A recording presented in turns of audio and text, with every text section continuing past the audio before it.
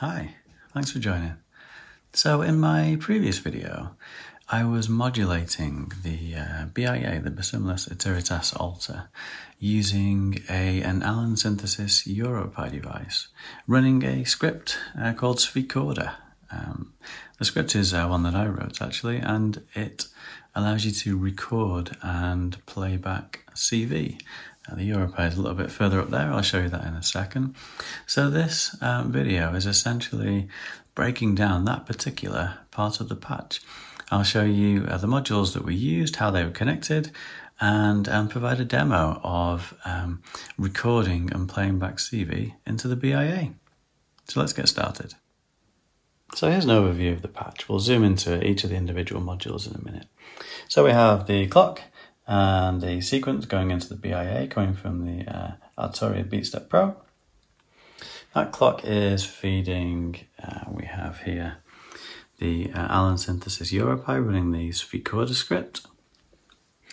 Out, uh, also being fed actually by the um, CVecorder, is uh, providing the CV is a joystick down here. So following the blue cable, we can see this joystick will be providing the CV.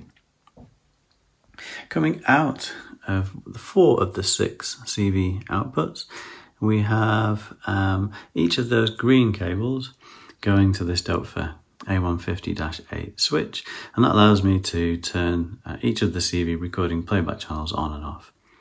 So we can see the orange cables here going down to the BIA.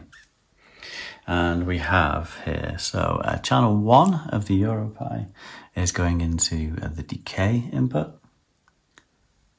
Channel 2 is going into the harmonic input.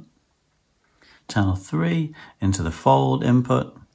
And then channel 4 is going into the morph input. Also, you notice we have a yellow cable going into the BIA. The yellow cable is being fed via an attenuator here is being fed by uh, another another uh, EuroPi script, actually a consequencer.